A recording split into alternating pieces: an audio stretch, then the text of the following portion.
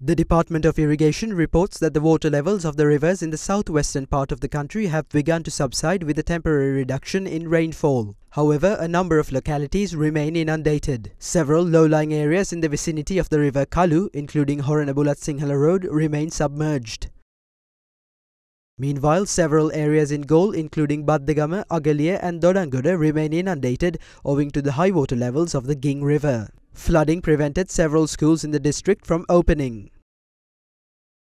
Overflow from the river Nilwala continued to affect a number of localities in the Matara district, including Kadduwa, Katuwangoda and Aturaliya.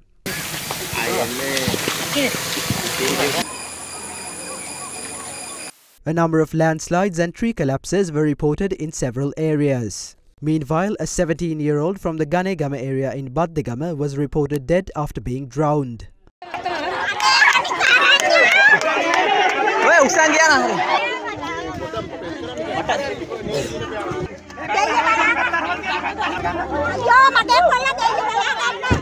The latest reports from the Disaster Management Center estimate that 284,505 individuals belonging to 74,313 families across 23 districts are affected by the adverse weather. 12,638 of those individuals are being temporarily housed in 204 relief centres. 31 deaths have been reported while the number of missing persons stands at 3. Against this backdrop, the government has decided to provide a special allowance to households affected by flooding. 10,000 rupees will be provided to every family affected by floods in order to clean up their houses.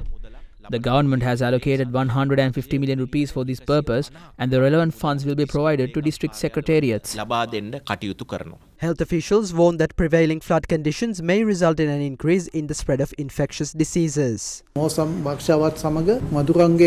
mosquito populations increase during the monsoon rains, we see an increase in the number of dengue patients. We expect these numbers to increase further because of the prevailing floods. In the meantime, the National Building Research Organization issued landslide early warnings to several districts. Accordingly, level 1 watch warnings have been issued for several areas in the Colombo, Kalutara, Galle, Hambantota, Matara, Kandy, Kegalle and Ratnapura districts, while level 2 alert warnings have been issued to areas in the Kalutara and Ratnapura districts. The Department of Meteorology meanwhile forecasts light showers in several districts. We expect several rounds of showers in the western, Sabaragamuwa, southern and northwestern provinces as well as the Kandy and Nuwara Eliya districts. Also, there is a possibility of showers in the north and northwestern provinces. Showers or thunder showers may occur in the Uva and eastern provinces during the evening or at night. ස්ථාන ස්වල්පයක් ඇතිවේවි කියලා.